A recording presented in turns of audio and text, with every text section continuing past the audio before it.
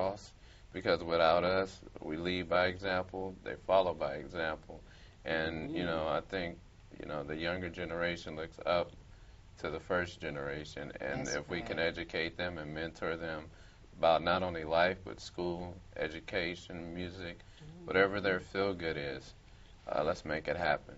That's, right. Whatever vehicle there is Exactly. to be a Put God blessing to first. get through. That's right. Put God first and you can never lose. That's right. and Bernita, what would you like to share with the television viewers? Oh, I, I want to thank you um, first and foremost for um, you know having me on again, and um, I just want to say that um, without um, people like our ancestors who have um, actually paved the way for us, then um, there wouldn't you know there would be no us, and then we have children that are coming along, and the times aren't getting any better. Oh no. They are our future. So we are, we have to, you know, it, it's it's um, a necessity that That's we right. take care of them.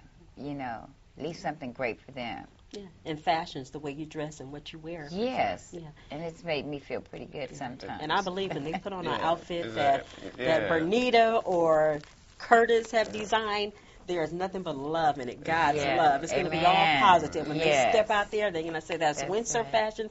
And briefly, just briefly, because it's all, always so much to say when I have you come on. Born Bear Fashions. yes. Just briefly, tell me about Born Bear Fashion.